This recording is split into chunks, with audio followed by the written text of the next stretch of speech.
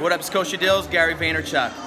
Check it out, the flow gon' represent when I get it in. You're talking about two real hustlers from Edison. And every time I hit it, I be shooting singles like Kenny Monday. That's the Edison Eagle playlist. Yes! Come on, boy, Monday to Monday. So one day before I kinda kick it and rhyme, the guys with the GoPros feeling. Coachella, I got a Spanish Hebrew rap song for you guys. Make some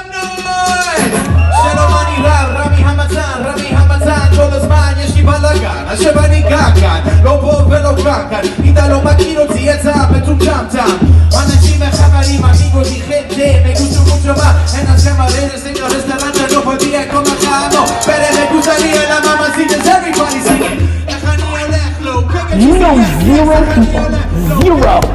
people that have built something big that haven't put in a ridiculous amount of work. So many of you have your mouth way ahead of your actions.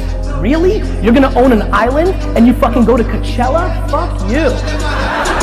Okay. It's great to go to Coachella if you love the music, if you love festivals, if you need a reset, if you love spending time with your friends. It's never great to do something for the sake of being cool.